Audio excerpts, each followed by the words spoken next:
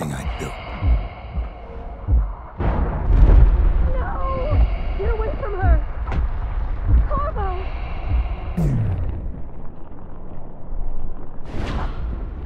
After failing to save the Empress and being framed as her killer as Corvo, we now get a chance to follow the role of Daud, the real assassin of the Empress of Dunwall, in the latest downloadable content for Arkane Studios' thief-inspired game, Dishonored. Is this finally the DLC that fans have been looking for? Let's find out. For six months, the city writhed and changed.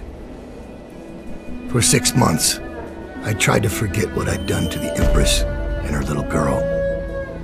But there was no forgetting. Starting out with the assassination of the Empress, you follow the character Daud along his path that takes place during the same time Corvo escapes from his cell. Also being guided by the same mysterious man known as the Outsider, he is given the task to locate someone or something named Delilah. Throughout the story, you'll be aided by Daud's second in command, Billy Lurk, who will give her opinions on situations and help guide you along your path. It's not a deep story, but it does do what it can to immerse the player into the shoes of a mysterious person named Dowd, whose name pops up from time to time in the main game. Of course, the story will end with sequel bait for the next DLC expansion that will finish off Daud's story in an already announced The Brigmore Witches.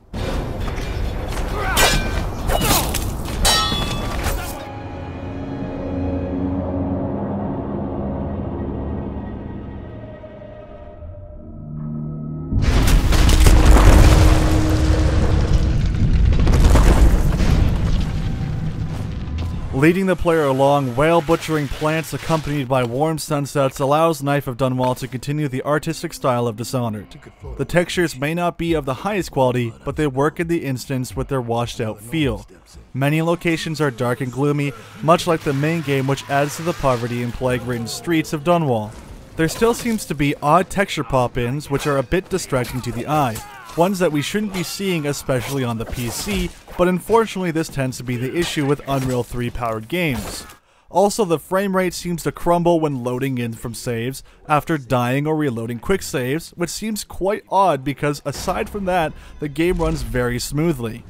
Dishonored Knife of Dunwall, however, still continues to nail the look of the world Arkane Studios has crafted. The further you plummet into your rampaging murder spree, the further Dunwall becomes infested with weepers and plague-carrying rats that feast on the living or the dead.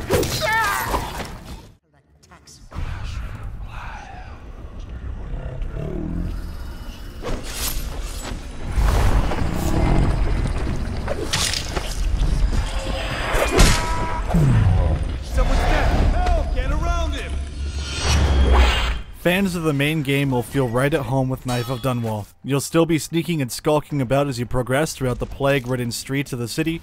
Daud gets a few new items up his sleeve as well. His blink ability allows the world around him to freeze if he's standing still, allowing him to teleport to cover or behind his foes for a swift takedown. You'll also be able to summon in a helpful assassin to take out enemies, similar to Assassin's Creed for when you're in a bind. Before each mission, you'll be able to purchase goods and equipment. There's now a new addition to the store called Favors, where you bribe workers on site to leave behind bone charms or keycodes to safes in the area you're about to enter.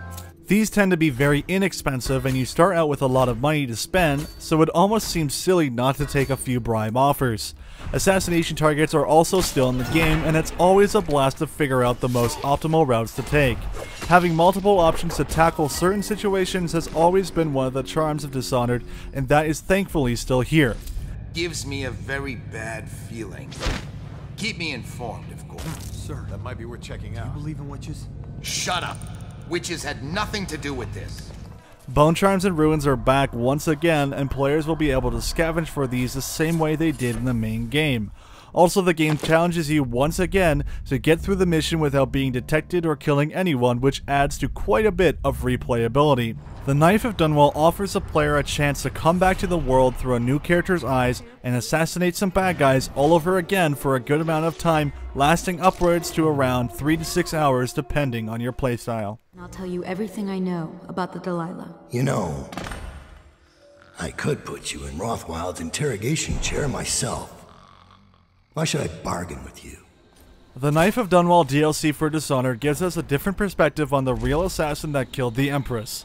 This new content offers new challenges, new ways of approach on new targets, all alongside a moderately interesting story. For a reasonable price for a great new amount of content, this is certainly the DLC that fans have been looking for. Dishonored's The Knife of Dunwall DLC gets a 4 out of 5.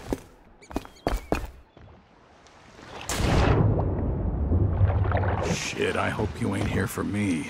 I'm just a little fish in a big pond. Thanks for watching my review. Did you get a chance to play the Knife of Dunwall DLC for Dishonored? We here at TGN want to know what you think, so post a comment below. But until next time, I'm Akabane101, and I'll see you in the next review.